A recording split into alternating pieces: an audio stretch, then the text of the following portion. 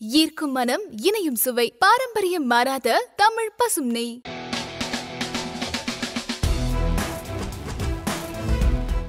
ஆனால் திமுகவில் நேற்று வேட்பாளர் பட்டியல் அறிவிக்கப்பட்டுச்சு. அதில் இருபதுக்கும் மேற்பட்ட சிட்டிங் எம்எல்ஏக்கு வாய்ப்பு தரலையாம் பல பேர் அதிருப்தியில் இருக்காங்களாம் இப்போ.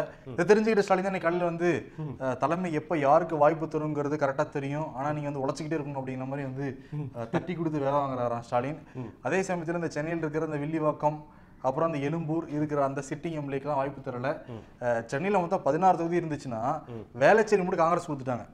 வேளச்சேரியில் இப்போ யார் சிட்டிங் எம்எல்ஏனா வாகை சந்திரசேகர். அவர் ஒரு மாதிரி என்னப்பா நம்ம கூட்டணி கொடுத்துட்டாங்க அப்படிங்கிற மாதிரி தான் இருக்காங்கன்னா ஆனா நிறைய வாரிசுகளுக்கு இந்த முறை சீட்டு போயிருக்கு போல இருக்கு. ஆமா சரி மொத்தம் வந்து நூத்தி எழுபத்தி மூணு இடங்கள்ல அவங்க வந்து நிக்கிறாங்க.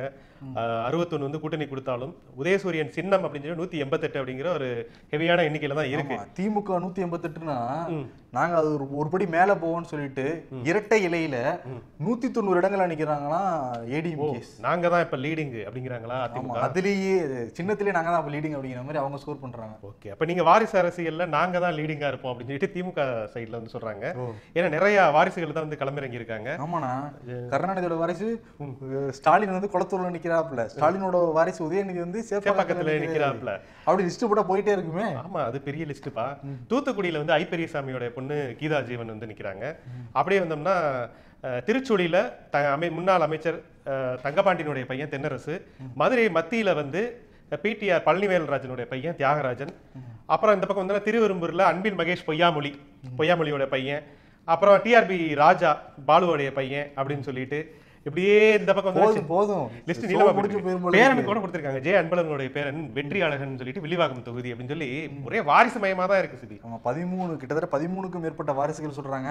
ஆனா கேட்டா என்ன சொல்லுவாங்கன்னா இல்ல இல்ல தொண்டருக்கு தான் நாங்க வந்து கொடுப்போம். எல்லாருக்கும் கொடுக்கக்கூடிய கட்சி தான்லாம் சொல்லுவாங்க டிஎம்கே ஆனா சொல்லியிருக்காப்லே பிரச்சனை பண்ணாதீங்க. வாய்ப்பு எப்ப தரணும் தலைமைக்கு தெரியும். அப்படிங்கிற மாதிரி வந்து சொல்லி இப்போதைக்கு அமைதியாக வச்சிருக்காருன்னு நினைக்கிறேன். இன்னொரு விஷயம் இன்னைக்கு வந்து தேர்தல் அறிக்கையை வந்து டிஎம்கே வெளியிட்டிருக்காங்க பாத்தீங்களா? ஆமா ஆமா அதுல முக்கியமான சில ஹைலைட்ஸ் மட்டும் சொல்லுங்கண்ணே. இப்போ திட்டங்கள்னு பார்த்தோம்னு வச்சுக்கவேன் இந்த திட்டங்களுக்கு வந்து ஐநூறு திட்டங்கள் நாங்கள் வச்சிருக்கோம். அதில் இருக்கக்கூடிய முக்கியமானதை மட்டுமே நாங்கள் இன்னைக்கு இதில் சொல்கிறோம் அப்படின்னு சொல்லிட்டு இந்த திட்டங்கள்லாம் நிறையா அப்படின்னே வந்து சொல்லியிருக்காங்க. அதே போல் இந்த திட்டங்கள் செயல்படுத்துறதுக்கு ஒரு தனி அமைச்சகமே வந்து அமைக்க போகிறோம் அப்படின்னு சொல்லியிருக்காங்க. மிக முக்கியமானது என்னென்னா இந்த அதிமுகவுடைய அமைச்சர்கள் பண்ணக்கூடிய அந்த ஊழல்களை வந்து விசாரிக்கிறதுக்கு தனி நீதிமன்றம் அப்படின்னு சொல்லிட்டு ஒரு விஷயத்தை சொல்லியிருக்காங்க. அப்புறம் வந்து பெண்களுக்கு ஏற்கனவே வந்து சொன்னாங்கல்ல அந்த நகைக்கடன் தள்ளுபடி அது மாதிரி விவசாயிகளுக்கான தனி பட்ஜெட்டு அப்படின்னு நிறைய விஷயங்கள் அறிவிச்சதோட மட்டும் இல்லாம அப்படியே வந்து இந்த பெட்ரோல் டீசல் விலையெல்லாம் குறைக்கிறது அப்படிலாம் சொல்லியிருக்காங்க. பெட்ரோலுக்கு வந்து அஞ்சு ரூபா குறைக்க போறாங்களாம் டீசலுக்கு வந்து நாலு ரூபா குறைக்க போறதா சொல்லியிருக்காங்க. அந்த ஆவின் வந்து ஆறு ரூபா விலை ஏறிடுச்சுல. கடந்த ஆண்டு ஏத்துனாங்க ஆகஸ்ட்ல. அதை வந்து மூன்று ரூபாய்க்கு நாங்க குறைக்க போறோம்னு சொல்லியிருக்காங்க. இதெல்லாம் நேரடியா மக்களுக்கு வந்து ஒரு மாதிரி கெயினா இருக்குங்கிற மாதிரி டிஎம்கே திட்டப்படுறாங்க. திட்டமிடுறாங்க போல இருக்கு. ஓகே பயங்கரமான திட்டம் தான். ஆனா இந்த டாஸ்மாக் பத்தி எதுவுமே சொல்லவே இல்லையே. ஆமா டாஸ்மாக் பத்தி மட்டுமா சொல்லல. படிப்படியாக டாஸ்மாக் குறைக்கப்படுங்கிறது தான் ரெண்டாயிரத்தி பதினாறு எலெக்ஷன்ல முக்கியமான அஜெண்டாவே எல்லா கட்சிகளுக்குமே இருந்துச்சு. இப்ப டாஸ்மார்க்ங்கிறதே மறந்துட்டாங்க. எந்த கட்சியும் பெருசா பேசின மாதிரியே தெரியல. முக்கியமா திமுக அப்படி சொல்லுவாங்க. அவங்க தானே வச்சிருக்கிறது கம்பெனிஸ் எல்லாமே. அதிமுகவும் பேச மாட்டாங்க திமுகவும் இந்த விஷயத்த பேச மாட்டாங்க. படிப்படியா குறைப்போன்னு கூட இல்ல டாஸ்மாக்ங்கிற வார்த்தையே அதுல வந்து நான் கண்ணு கண்டது வரைக்கும் தெரியல. நீங்க பாத்தீங்கன்னா நீங்க சொல்லுங்க. இல்ல, இல்ல. எட்டு வழிச்சாலை பத்தியுமே எதுவுமே சொல்லல அந்த அறிக்கையில. அதுக்கு சிஐஏ அந்த என்ஆர்சி அத பத்தி எதுவுமே சொல்லல. அப்ப என்ன அர்த்தம்? அதெல்லாம் வந்து மறந்துருங்க அப்படின்னு சொல்லிட்டு அதுல வந்து அவங்களுடைய நிலைப்பாடே வேறன்னு அர்த்தம். ஆனா வந்து நீட் இருக்குல்ல. நீட் தேர்வுக்காக இந்த சட்டசபை ஸ்கூல் அந்த முதல் மாதத்துலேயே நாங்கள் வந்து தனி சட்டமாவே ஏற்றிடுவோம். நீட் தேர்வு இங்கே இல்லை அப்படிங்கிறத சொல்லி. அதுபோல் கொரோனாவுக்கு நாலாயிரம் ரூபாய் ரேஷன் கார்டு உறுப்பினர்கள் எல்லாருக்குமே வந்து கொடுப்போம். ரேஷன் அட்டை இருந்தா அப்படிங்கிறதையும் சொல்லியிருக்காங்க. அந்த கல்வி கடன் ரத்து இதெல்லாம் சொல்லியிருக்காங்க. ஆனா கூட மெயினா பாருங்களேன் டாஸ்மாக் ஆயிரம் ரூபாய் வந்து பெண்களுக்கு கொடுக்க போறாருங்கிறாரு. மாதம் மாதம் மாதம் குடும்ப தலைவி கொடுக்க போறாங்கிறாரு. ஆமா. எங்க போ அந்த ஆயிரம் எங்க போகுங்கிறது அவருக்கே தெரியும். ஆமா நம்ம மீம் பார்த்தோம்ல. ஐநூறு ரூபாய் ஆயிரம் ரூபாய் அங்கே போயிடும் அவ்வளவுதான். டாஸ்மாக் பத்தி எதுவுமே சொல்லவே இல்லை. இது எவ்வளவு பெரிய ஒரு என்ன சொல்றது? ஒரு குரலி வித்தை தான் கண்கட்டி வித்தை தான் நடத்தியிருக்காரு. ஆமா. சரிண்ணா அமமுகலையும் அறிவிச்சிருக்காங்க போல இருக்கே தேர்தல் அறிக்கை. ஆமா சிபி வந்து என்னன்னா முன்னாடி ஒரு இது விஜயகாந்த் வந்து ஒன்று சொல்லியிருந்தாரு. அப்ப எல்லாருமே அவரை வந்து பயங்கரமா கிண்டல்லாம் பண்ணியிருந்தாங்க. வீடுக்கு வீடு தேடி வந்து ரேஷன் கார்டுலாம் வந்து ரேஷன் பொருட்கள்லாம் வரும் அப்படின்னு சொல்லி. இவர் அதே தான் சொல்லியிருக்காரு. வீடு தேடி ரேஷன் பொருட்கள் வரும். அதே போல விவசாயிகளுக்கான இடுபொருட்கள் உரம் போன்ற பொருட்களும் வீடு தேடியே வந்து கொடுப்போம் அப்படின்னு சொல்லியிருக்காரு. அப்புறம் அந்த ரீடிங் எடுக்கிறாங்கல்ல அதாவது மின் கட்டணம் வந்து மாதம் ஒரு முறை வந்து கட்டுற மாதிரியான ஒரு இதை வந்து கொண்டு வருவோம். அம்மா புரட்சி பொருளாதார புரட்சி திட்டம் அப்படிங்கிற ஒரு திட்டம். அதாவது இது என்ன திட்டம் அப்படின்னா விளக்கியிருக்காங்க நகர்ப்புறங்கள்ல இருந்து கிராமப்புறங்களை நோக்கி நிறைய அலுவலகங்கள் அஹ், குறிப்பா வந்து தொழிற்சாலைகள்லாம் போயிட்டு அங்கே வந்து வேலை வாய்ப்புகளை பெருகக்கூடிய திட்டத்தை வந்து நாங்க அனௌன்ஸ் பண்ண போறோம் அப்படின்லாம் சொல்லியிருக்காரு. ஒரே திட்டங்களா தான் இருக்கு. ஆனா அவர் அமமுக டாஸ்மாக் ஒண்ணு சொல்லியிருக்காரு. என்ன? படிப்படியா குறைப்போங்கிற இதை வந்து மென்ஷன் பண்ணிருக்காப்ல டிடிவி ஆமா. பாப்போம் அவரா குறைப்பாரா இல்லையா? வரணும்ல. டாஸ்மாக் பத்தி யாரும் பேச மாட்டேங்கிறாங்க. அதான் தமிழ்நாட்டுல இருக்கிற பிரதான பிரச்சனைகளுக்கு முக்கியமான காரணம் அதுதான். கஜானா நிரம்புறதுக்கு ஒரே வழியும் அதுதான் அப்படிங்கிறது தான் திராவிட கழகங்களுடைய ஒரு எண்ணமாவும் ஆமா இருக்கு ஒவ்வொரு வருஷமும் சும்மா முப்பத்தையாயிரம் கோடிக்கு மேல வருமானம் வரது அசால்ட்டா விடுவாங்களா? டார்கெட் வச்சு முன்னேறிட்டு இருக்காங்களா டாஸ்மாக்ல? ஆமா. இப்போ இந்த வழியில காசு கொடுத்து அங்கதான் திரும்பி போகும் அது. ஆனா டிஎம்கே சைடு இப்படி நடந்துட்டு இருக்கு. ஏடிஎம்கே சைடு என்ன கூத்து நடந்துகிட்டு இருக்கு? ஏடிஎம்கே சைடு வந்து இந்த பாஸ்கரன் மாதிரியான அமைச்சர்கள்லாம் வந்து பயங்கரமா வெளியிலே சொந்த பந்தங்கள்லாம் கூப்பிட்டு கிட்டத்தட்ட ஒப்பாரி வைக்காத குறைய அளவே ஆரம்பிச்சிட்டாங்க.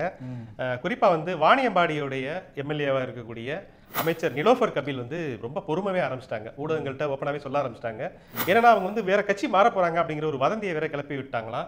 யார் அதை கிளப்பி விட்டதுன்னு போயிட்டு அவங்கள்ட்ட போய் ஊடகங்கள் போய் கேட்கல அமைச்சர் கே சி வீரமணி தான் வந்து எனக்கு எதிராக ஒரு சதி செய்கிறாரு. கட்சியை விட்டு என்னை ஓரங்கட்டுறதுக்கான ஒரு வேலையை வந்து சைலண்டாக பார்க்குறாரு எனக்கு இரட்டை சகோதரர்கள் ஒன்று ஓபிஎஸ் அண்ட் இபிஎஸ் ரெண்டு பேரையும் சொல்லிட்டு அவங்களுக்கு விசுவாசமாக இந்த கட்சி ஜெயிக்கணுங்கிறதுல களப்பணியில் நான் வந்து ரொம்ப தீவிரமாக இருக்கேன். ஆனால் சீட்டு கொடுக்காது கொடுக்கறது வந்து தலைமையுடைய முடிவு. எனக்கு எந்த வருத்தமும் இல்லையே அப்படின்னு சொல்லிட்டு உண்மையாகவே அழுதுட்டாங்க. அழுதுட்டு எம்ஜி ஜெயலலிதா வந்து அவங்க என்னை வந்து அரசியலுக்கு அவங்கள பார்த்து இன்ஸ்பயர் ஆனேன். அவங்க எனக்கு அரசியலுக்கு கூட்டு வந்ததோட மட்டும் இல்லாமல் என்னை அமைச்சராகவும் ஆக்கி அழகு பார்த்தாங்க. ஆனா இன்னைக்கு வந்து எனக்கு சீட்டு கொடுக்காட்டாலும் பரவாயில்ல. கட்சிக்கு துரோகம் பண்ணுவேன் மட்டும் தயவு செய்து சொல்லிடாதீங்க அவ்வளவுதான் அப்படின்னு சொல்லிட்டு வெடிச்சு ரொம்ப தாங்க. முடியாது அப்படின்ட்டு இருக்காரு பத்து கால்லாம் வருதா அவங்களுக்கு? ஆனா எந்த காலுமே எடுக்கல அப்படின்லாம் சொல்றாங்க அந்த எடப்பாடி பழனிசாமி சொல்லியிருக்காரு. எல்லாருக்கும் தகுதியின் அடிப்படையில் தான் நாங்க சீட்டு கொடுத்துருக்கோம்லாம் சொல்றாரு. அப்படி பார்த்தா ஜெயலலிதா தகுதியின் அடிப்படையில் சீட்டு கொடுக்க வரலைங்கிற இன்டெரக்டா ஏதாவது சொல்ல வராரா அப்படிங்கிறது தெரியல. இது தர்மத்துக்கும் அதர்மத்துக்குமான போர். இந்த போர் நினைச்சு அதிமுக வென்றே திருணுங்கிறாரு. இது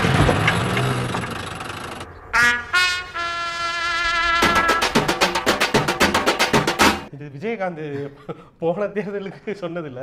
அவர் வேற யாருக்காவது சொல்றாரான்னு தெரியல. இன்டெரக்டா இந்த மெசேஜ் தர்மத்துக்கும் அதர்மத்துக்குமான போருன்ட்டு எடப்பாடி பழனிசாமி திருப்பி சவால் விட்டுருக்காருண்ணே ஸ்டாலினுக்கு. ஆல்ரெடி நாலு முறை சவால் விட்டுருந்தாரு. துண்டு சீட்டு இல்லாம ஒத்தை ஒத்தையும் வாங்க. நான் பேச தயாரா இருக்கேன் நீங்க பேச தயாரா? நான் ரெடி நீங்க ரெடியான்ட்டு ஸ்டாலின் கேட்டார்ல.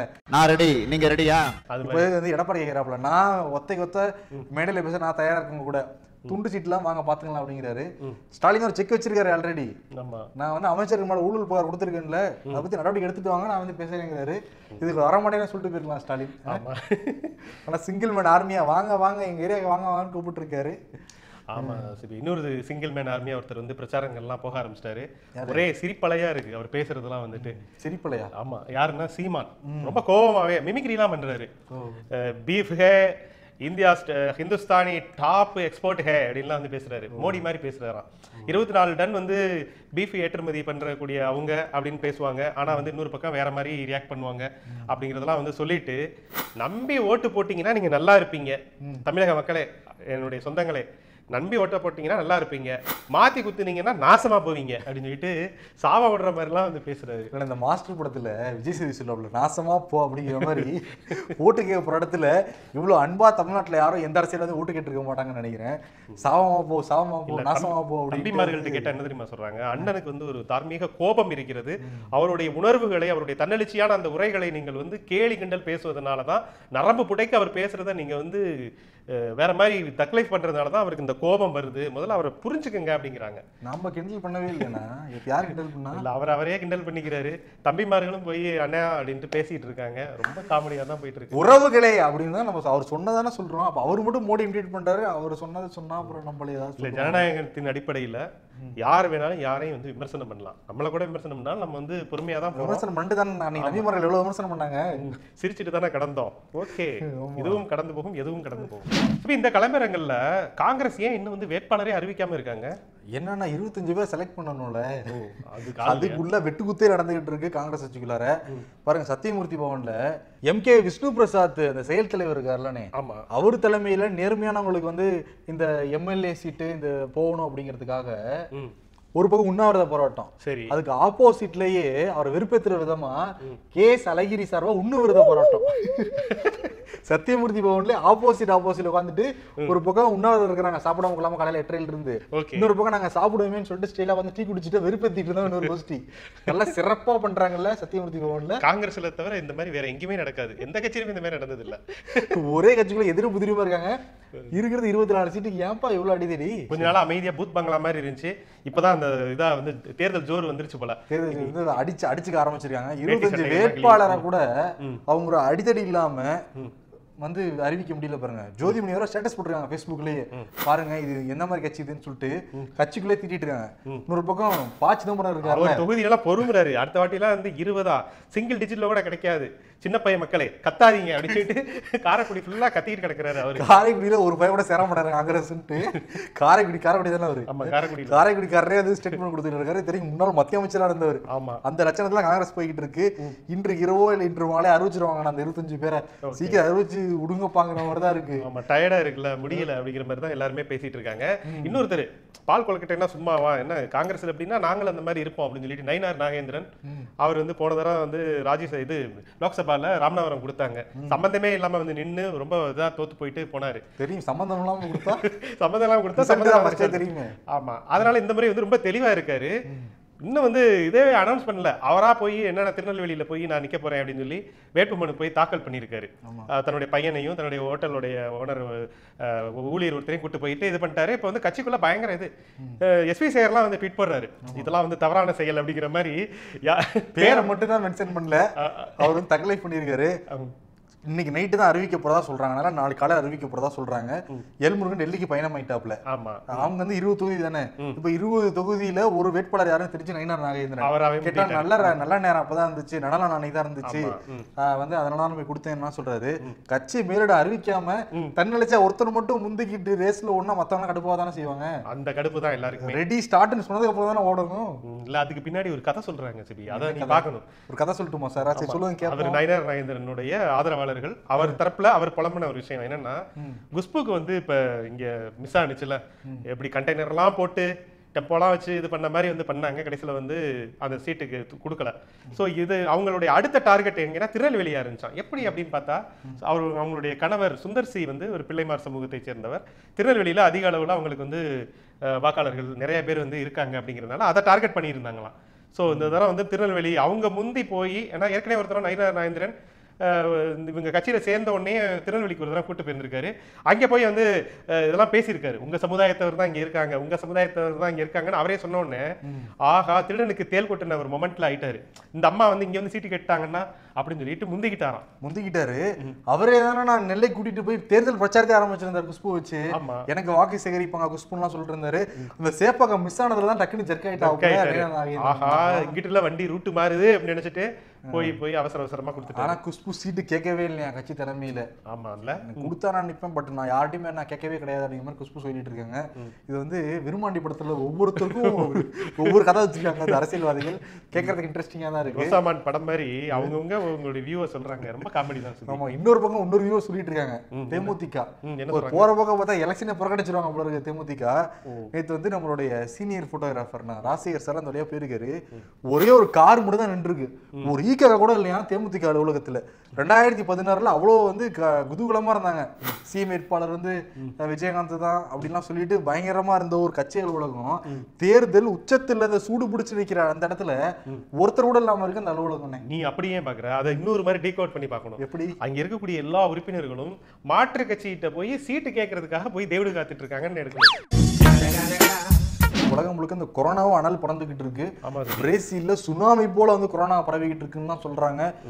ஒரே நாள்ல எண்பத்தி ஐயாயிரம் பேர் எண்பத்தி நாலாயிரம் பேர் கொரோனாவில் பாதிக்கப்படுறாங்களாம் நேற்று ஒரே நாள்ல கிட்டத்தட்ட ரெண்டாயிரத்தி ஐநூறு பேர் பிரேசில் இறந்து போயிருக்காங்க. ஆவரேஜா அமெரிக்கால பாக்குறப்ப ஐம்பதாயிரம் பேர் கொரோனா தொற்று வந்து ஏற்பட்டுக்கிட்டே இருக்கு. இந்தியால நேத்து மட்டும் இருபத்தி நாலாயிரம் சுச்சம் பேர் கொரோனா தொற்று ஏற்பட்டிருக்கு. நூறு சுச்சம் பேர் இறந்து போயிருக்காங்க. மெல்ல மெல்ல பரவிட்டு இருக்கு. மகாராஷ்டிரால தான் இன்னும் நிறைய பரவிட்டு இருக்கிறதா ஆமா ஆமா சிபி. ஏன்னா வந்து நேத்து ஒரு நாள்ல மட்டுமே பதினாறாயிரம் பேருக்கு மகாராஷ்டிரா முழுமைக்கும் புதிதாக கொரோனா தொற்று ஏற்பட்டிருக்கு அப்படின்னு வந்து சொல்கிறாங்க குறிப்பாக பார்த்தோம்னா மும்பையில் மட்டுமே ஆயிரத்தி ஐநூறு பேருக்கு வந்து கொரோனா தொற்று ஏற்பட்டிருக்கான். மும்பையுடைய புறநகர் பகுதியாக இருக்கக்கூடிய பால்கர் டோம்பிவிலி நாசிக் புனே போன்ற பகுதிகளில் பக்கத்துல இருக்கக்கூடிய இந்த முக்கியமான ஒரு எட்டு நகரங்கள் வந்து அதிக அளவுல வந்து பரவிட்டு இருக்கு அப்படின்னு சொல்றாங்க. இது வரைக்கும் வந்து மொத்தமாக அஹ், மகாராஷ்டிரால மட்டுமே பார்த்தோம்னா இருபத்தி ரெண்டு லட்சம் பேருக்கு வந்து இந்த கொரோனாவுடைய தொற்று கண்டறியப்பட்டிருக்கு அப்படின்னு வந்து சொல்றாங்க. மிகப்பெரிய ஒரு பாதிப்பு தானா? ஐம்பத்தி ஆறாயிரம் பேர் வந்து இது வரைக்கும் இறந்து போயிருக்காங்க அப்படின்னு சொல்றாங்க. எண்ணிக்கை பார்த்தா ரொம்ப அதிகமா இருக்கு. மும்பையில மட்டுமே பதினோராயிரம் பேர் வந்து இறந்து போயிருக்காங்களாம் சிபி ஸோ வந்து என்னன்னா இப்போ எட்டு நேரங்கள்லையும் வந்துட்டு இரவு நேர ஊரடங்கு அப்படிங்கிற ஒரு விஷயத்தை வந்து கொண்டு வந்திருக்காங்க. அதே போல அலுவலகங்களுக்கு அரசு அலுவலகங்களுக்குமே இருபத்தஞ்சு சதவீதம் பேர் தான் இனிமேல் வரணும் அப்படிங்கிறத சொல்லியிருக்காங்க. முகக்கவசம் போடாட்டா மிக கடுமையான ஒரு நடவடிக்கை நாங்கள் எடுக்க போகிறோம் அப்படிங்கிறதையும் சொல்லியிருக்காங்க. ஸோ தொடர்ந்து அடுத்தடுத்த உத்தரவுகள்லாம் வந்துட்டு இருக்கு அதோடைய ஒரு பின்விளைவாக பார்த்தோம்னா இங்கே நம்மளுடைய நீலகிரி மாவட்டத்தில் ஏன்னா நிறைய சுற்றுலா தலங்கள் அது சுற்றுலா தலம் இல்லையா? இங்கே வந்து மாவட்ட கலெக்டராக இருக்கக்கூடிய இன்னசென்ட் திவ்யா முகக்கவசம் அணியலைன்னா ஆறு மாத கடுங்காவல் தண்டனை அப்படிலாம் சொல்லியிருக்காங்க. ஸோ இந்த மாதிரி அடுத்த ஒரு இதை நோக்கி போயிட்டு இல்ல இருக்கு சென்னையிலயுமே மாஸ்க் போடலான்னு ஃபைன் தான் அப்படிங்கிற மாதிரி அரசாங்கம் சொல்லியிருக்காங்க. ரொம்ப கவனமா இருக்கணும். இன்னும் கொரோனா நம்மளை விட்டு இன்னும் போகல அப்படிங்கறது தெள்ள தெளிவான சாட்சி. உலகம் முழுக்க கண் முன்னாடி நம்ம பார்த்துக்கிட்டு இருக்கோம். கவனமா இருங்க மக்களே. உண்மையிலேயே இந்த மருத்துவர்கள் செவிலியர்கள் தான் நம்ம வந்து நன்றி சொல்லணும். பாருங்க அந்த டைம்ல இது வரைக்கும் இந்த கொரோனா விரட்டுற அந்த போர்ல தொடர்ந்து ஈடுபட்டுட்டே இருக்காங்க பாத்தீங்களா? ஆமா உண்மையாவே அவங்களுக்கு வந்து நம்மளுடைய நெஞ்சார்ந்த நன்றிகளை வந்து நம்ம சொல்ல கடமைப்பட்டிருக்கோம். அப்புறம் இன்னொரு முக்கியமான விஷயம் சரி இந்த நீட் தேர்வு இருக்குல்ல? ஆமா. அது வந்து இந்த தேசிய தேர்வு முகமை வந்து அவங்க வந்து நடத்த போறாங்க. ஆகஸ்ட் ஒண்ணுல வந்து தேர்வு நடக்க போதான் இப்போ என்னன்னா இப்போ அதுல மத்திய அரசு புதுசா ஒரு இதை கொண்டு வந்திருக்காங்க. எப்பவுமே எம்பிபிஎஸ் பிடிஎஸ் போன்ற படிப்புகளுக்கு தான் நீட் தேர்வு மூலமாக மாணவர்கள் வந்து எடுப்பாங்க.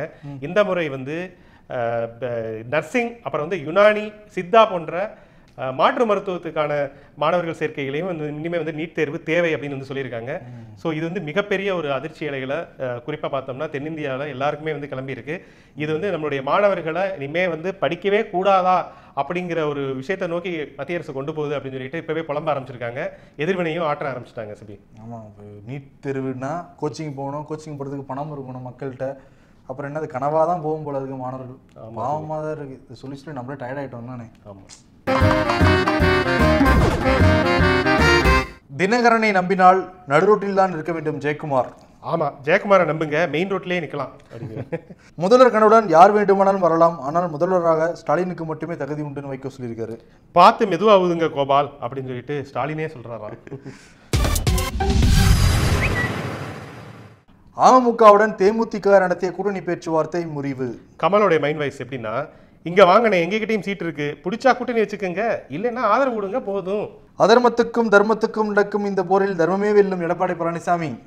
ஓபிஎஸ் உடனான உரசலை தான் இப்படி வெளிப்படையா சொல்கிறாரோ அப்படின்னு கேக்குறாங்க. யாருண்ணா?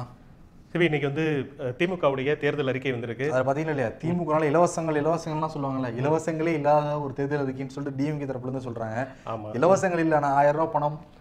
அந்த அதெல்லாம் எங்கே போகுது? நாலாயிரம் ரூபாய் பணம் இதெல்லாம் வந்து என்னது? ஆமா அது வந்து இலவசத்துலலாம் சேர்க்க மாட்டோம் அப்படின்னு சொல்லுவாங்க. கேட்டா வந்து அது சமூக நீதி அந்த மாதிரிலாம் கொண்டு போயிடுவாங்க ஆனா என்னன்னா ரொம்ப தெளிவா ஒரு மாற்றுத்திறனாளிகளுக்கு ஸ்மார்ட் கார்டு திட்டம் இந்த மாதிரியான திட்டங்கள்லாம் வந்து சொல்றதெல்லாம் ரைட்டு ஆனா மிக முக்கியமா இவங்களுடைய பழைய தேர்தல் அறிக்கையெல்லாம் பார்த்தோம்னா படிப்படியாக மதுவிலக்கு கொண்டு வரப்படும் அப்படிலாம் வந்து சொல்லியிருக்காங்க. ஆனா அது வந்து இரண்டு கழகங்களுமே வந்து மறந்துட்டாங்க. குறிப்பா வந்து ஸ்டாலின் இன்னைக்கு கொடுத்த அந்த அறிக்கையில அதை பத்தி எந்த ஒரு வார்த்தையுமே இல்லை. இது வந்து என்ன தோணுதுன்னா அழகா வந்து அவங்க அதெல்லாம் நம்பி இருக்காங்க அப்படிங்கிறத வெட்ட வெளிச்சமாவே தெரியுது. கஜானா நிரம்பி வழியணும்னா என்ன வேணாலும் பண்ணலாம் அப்படிங்கிறத தங்களுடைய நிலைப்பாட்டை அப்படியே பிரதிபலிக்கிற மாதிரி தான் இருக்கு இந்த தேர்தல் அறிக்கை. ஆமா அதுல அந்த கடைசி இல்லைங்களா அந்த கடைசி பக்கம் முடிய போறப்ப அதான் இருக்கு அதுல. இவ்வளவு திட்டங்கள் வச்சிருக்காங்க. எங்க பணம் வரும்னு நீங்க நினைக்காதீங்க. நிறைய வருவாய்க்கெல்லாம் நாங்க ஏற்படலாம் பண்ண போறோம்லாம் சொல்றாங்க. அப்ப என்ன அர்த்தம் நிறைய டாஸ்மாக் கடைகளை திறக்க போறாங்களா அப்படிங்கிறது தெரியல. ஆமா ஆமா. ஓகே. அதுல என்ன நல்லா நல்லா வந்து ஒரு இந்த தேர்தல் அறிக்கையே வந்து ஒரு நேக்கா இந்த தாயத்தை உருட்டுற மாதிரி நேக்கா உருட்டி இருக்காரு ஸோ வந்து எவ்வளவு நேக்கா உருட்டுறாரு அப்படிங்கிறதே அவார்டா கொடுத்துடலாம். ஓகே ஒரு நேக்கா விட்டுறாரு award goes to Stalin Stalin ஆமா. சிறப்பு நாளைக்கு கமெண்ட் ஷோருக்கு அதையும் மறக்காம பாருங்க. அஹ், தொடர்ந்து உங்களுடைய ஆதரவு தாங்க. Seven three five eight three eight nine triple four இந்த எண்ணுக்கு உங்களுடைய செல்ஃபி வீடியோக்களை மறக்காம அனுப்புங்க. நன்றி வணக்கம். பசும் வெண்ணெயை உருக்கி பக்குவமாய் தயாரிக்கப்படும் தரமான நெய் தமிழ் பசும் நெய். ஈர்க்கும் மனம் இணையும் சுவை.